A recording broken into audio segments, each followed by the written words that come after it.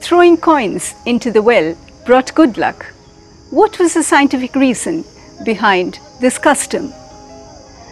Tanks, ponds, rivers were the ancient water bodies. Also, coins in traditional India were made of copper, unlike the steel ones that we use today.